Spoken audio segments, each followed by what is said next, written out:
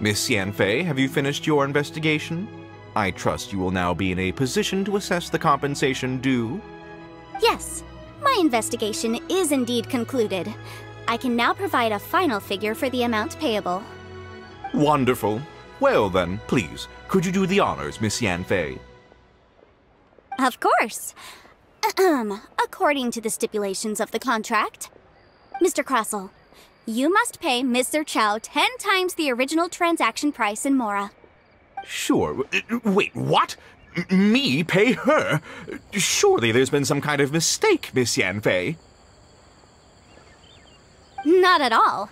According to my investigations and the material evidence that we've gathered, the substance claimed to be Smaragdus jadeite that was inlaid within the Smaragdus jadeite twin phoenix pins that you rented out to Mr. Chow was, in fact, Smaragdus nephrite. Now, the contract states very clearly that 10 times the price shall be paid should the article not be genuine. Accordingly, you are liable for this sum, which is payable to Mr. Chow in Mora. Material evidence? What material evidence? Why, Miss Yanfei, you cannot frame me like this. I spent a huge sum to obtain that Smaragdus jadeite, and yet you claim that the ore inlaid on the hairpins is somehow fake? I demand to see your evidence. Indeed. Only a testimony from an expert witness involved in the processing of the ore can serve as an authoritative assessment of whether it is genuine. Traveler, please produce the evidence in question. This is a processing record from the Jade Mystery, along with stone samples and an affidavit signed by the business owner, Chateau. Seriously? Even the boss there couldn't differentiate between Smaragdus jadeite and Smaragdus nephrite. How does this prove anything? In any case, Smaragdus nephrite is the outer layer of Smaragdus jadeite. So I had him cut away the nephrite, he returned the valuable jadeite core to me, and some nephrite samples remain in the store. What am I missing exactly? Th- that's an unsubstantiated belief. Well, your claim that my ore is fake is just as unsubstantiated. And we are here to talk about evidence, aren't we? Ugh. Looks like our first piece of evidence didn't convince him at all. Seems like he came prepared. What should we do next? Hard evidence, something legally binding. We have just the thing. Show him, Traveler. This document proves that my hairpins are the real deal, doesn't it? This is the Ministry's seal, after all. It shows that the ore inlaid on the pins is indeed Smaragdus jadeite. Our second piece of evidence didn't work either. And this guy's getting more belligerent by the second. Hmm. You know, you could be right. Perhaps the hairpins are the real deal after all. Of course I'm right. All the evidence shown supports my story. Well, hang on a moment now, because I do recall one final piece of evidence that we haven't revealed yet. Traveler, would you do the honors? This shall serve as decisive proof of our case. What's this? Smaragdus jadeite springs forth from stone marrow within the mountains and will bring disaster to any mere mortals who touch it. Sustained contact with Smaragdus jadeite over a prolonged period will, in less serious cases, cause a mild malady, while in serious cases, the patient may suffer a dramatic change of personality and fall seriously ill. Mr. Crossell, were you aware of these peculiar properties of Smaragdus jadeite?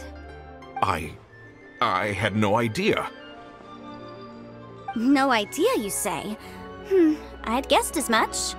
But for you to have rented out such a dangerous item. I'm afraid that this falls outside the scope of my work, but within that of the Ministry of Civil Affairs. However, I'm sure that the Ministry will be relatively lenient considering that, as you say, you were ignorant of the danger you posed. Don't worry, Mr. Crossell. I will make sure that all the evidence presented here will be handed over to the Ministry. I trust that you'll give them your full cooperation in their investigations. What? Wait, wait! I. I knew. Oh, so you knew? Oh, dear Mr. Crossell. But if you knew of Smaragdus jadeite's dangerous properties beforehand, why would you. Huh?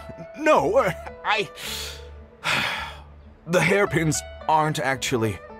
Aren't actually inlaid with genuine Smaragdus jadeite? Is that what you were about to say? You do understand, Mr. Crossell, that this means that you will have to pay Mr. Chow ten times the original price in Mora? Mr. Crossell, your answer, please. My client and I are waiting. I. I. I. Yanfei's seriously intimidating right now. It's like she's a different person. I admit it. I confess. The ore I had inlaid on those hairpins was. was Smaragdus Nephrite. B- but I'm a victim in all of this, too.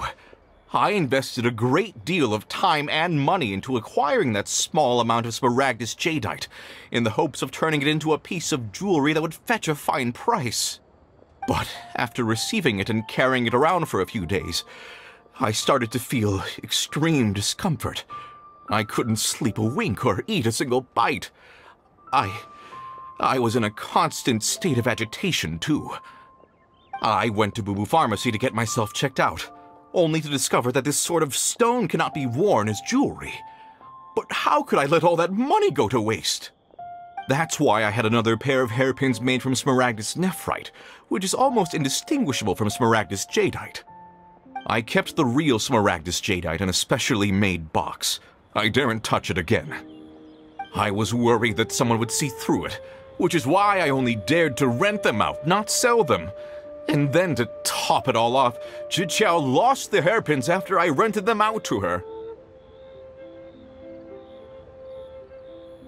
Exactly. If they weren't the real deal, why'd you make her pay so much? Hmm? I I didn't want to either, but when I purchased that Smaragdus Jadeite, some of my business partners found out. I knew they'd be watching closely to see how much I could make off it. If word got out that I sold a pair of fake hairpins, then my days in this line of business would be over. All right, let's cut the appeals phase right there. I failed to see what bearing any of this has on your transaction with my client. According to the contract, you must pay Mr. Chow ten times the original price in Mora, and that is final. Ten. ten times? Crossell looks like he could faint any second. As for me, according to my contract with Mr. Chow, 20% of that sum will go to me. Twenty percent?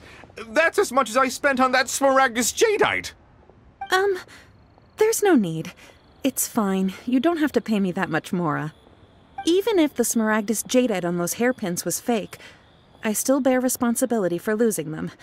Legally or not, I think I owe some compensation for that. Ms. Jiqiao, you.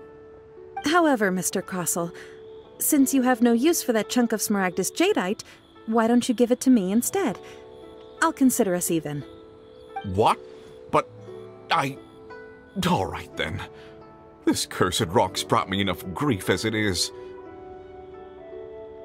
Miss Yanfei, I'll turn the Smaragdus Jadeite over to you. I trust that it will suffice as remuneration? Well, um, that's not quite how the rules say this should go. But whatever, it'll do. Thanks so much for your help this time, Miss Yanfei. When you have the time, I'll be sure to visit and express my thanks more appropriately. Oh, come on. No need to stand on ceremony. Now, if I may confirm this again, Mr. Chow, have you and Mr. Crossell come to an understanding? Hmm? Well, yes, I believe we have. Well then, that's good. Mr. Crossell, it seems that my client has no further claims against you. Is. is that so? That's good. That's good. Actually, Mr. Crossell, I'd like to talk business for a second if I may. I could see from the hairpins you produce that you're very skilled in jewelry design. My family, on the other hand, works in the ore business, and we have a fair stock of fine ores. If we could join forces, your jewelry designs and our choice ores, I think we could do some fine business between us. I. uh. Let me think for a moment.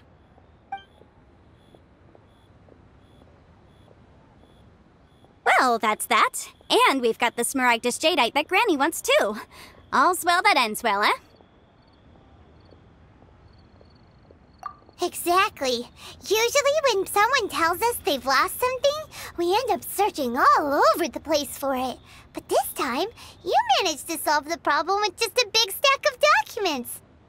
Even though the solution didn't involve actually finding the hairpins. The right solution depends on your perspective on the problem. The objective of my client, Mr. Chow, was to reduce her liability to pay compensation. So, rather than looking high and low for some hairpins, proving that the rented item was nowhere near worth what the vendor had claimed it to be was the more efficient solution. An Adeptus. Speaking of, you took part in that battle, didn't you? In which case, you would have heard what Granny said. Liyue Harbor is now a city ruled by humans. The title of Adeptus means precious little to me compared to my job as a legal advisor. In any case, don't you think that the Liyue Harbor of today needs legal consultancy far more than it needs adeptal powers? Paimon can think of someone who would definitely disagree with your reasoning. Well, since we got what we came for, it's time to pay Granny a visit. I bet she's been on tenterhooks for a while now. This is a peaceful neighborhood.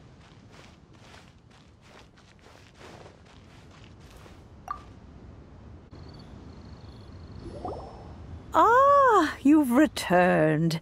How did it go? Were you able to find the Smaragdus Jadeite?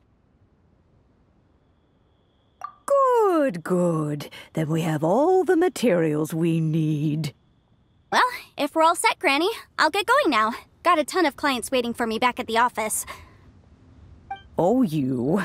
All right then. Go see to your business. Granny should be able to handle the rest. I'm off then. Bye! Oh, yes, Traveler. Make sure you don't lose the business card I gave you. I've been looking into the laws of other nations as well. If you should ever bump into any trouble with the law, come find me directly. Regulars get discounts too. Come now, child. Are you leaving or are you not? If you have no wish to leave, perhaps you'd like to help me clean my teapot, hmm? I'm leaving! I'm leaving! that child. Goodness knows where she learned to be so rambunctious. Her father was hardly so riotous or fond of talking nonsense back in the day when he stood beside Rex Lapis. Ah, indeed she is. Liyue has changed, and the Adepti must also learn to change. Yanfei might be overly garrulous, but she is also the most intimately acquainted with the city among us all. Ah, Liyue is not the same place I once knew. All right, then. Let us speak of this no more. Back on topic. I believe that I still owe you a little gift. Oh, Paimon's so excited! How is it made? Ah, it is but a single teapot. It shan't take long at all. Just wait here for a moment.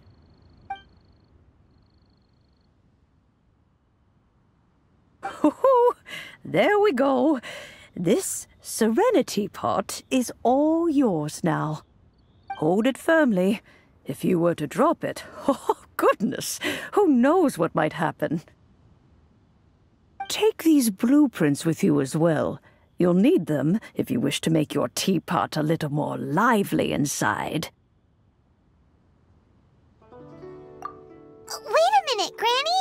How exactly are we supposed to use this teapot? Oh, you needn't worry about that.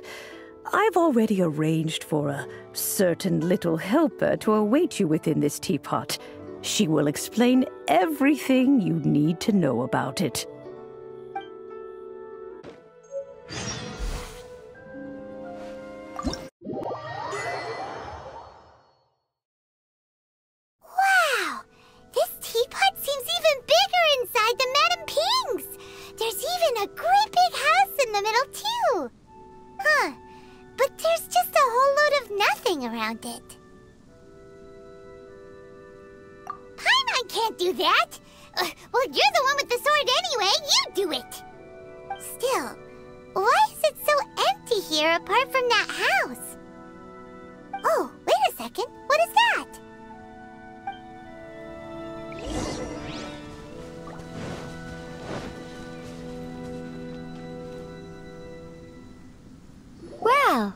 It seems that we have a visitor.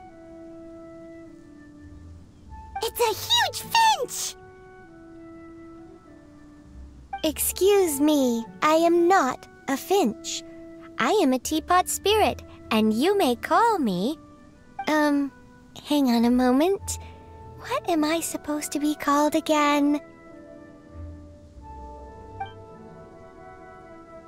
Oh, call me. I suppose you may call me Tubby. So you're the little helper Madam Ping mentioned? Madam Ping? Oh, you must mean Ping. Yes, she did summon me here. She told me much about you. You may leave all matters regarding the upkeep of this realm to me. Your journey may be far from over, but at least this way you will not want for a comfortable place to sleep each night. Though it is the Adepti who create realms such as this, they generally do not have the time of day to attend to the banal matter of their maintenance. Thus, we teapot spirits were created to help guard their realms and manage their affairs. You may consider me a butler, if you will. Now, allow me to explain this realm to you. Have you any blueprints on you? Specifically, blueprints with beautiful rooms, chairs, and the like. As long as you have a blueprint, you can refashion this realm however you please. Blueprints? Oh, that's right! Granny handed us some when she gave us the teapot, didn't she? Let's take them out and have a look.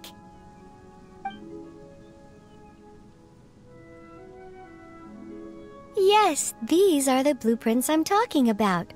Go on, open them up. Just commit the image of the objects to memory and prepare the necessary materials. Then simply release the thought from your mind and the object in the blueprint shall appear within this teapot. Wow! Is that all it takes? Then we could build a whole city inside, couldn't we? Hmm, I doubt it. A golden-eyed adeptus explained this to me at some point in the past. He said that even though subspace creation is a product of adeptal power, even that has its limits. This world is not a true one, after all. It provides merely a moment of brief respite from the mortal realm, not a means of escaping it entirely. A golden-eyed adeptus? Paimon wonders who could that be? I hardly remember myself. What's more, I have never seen that Adeptus again since. Well, let's not dwell on that. Have a look around. Best you get accustomed to this realm. If there's anything you would like to ask, just look for me.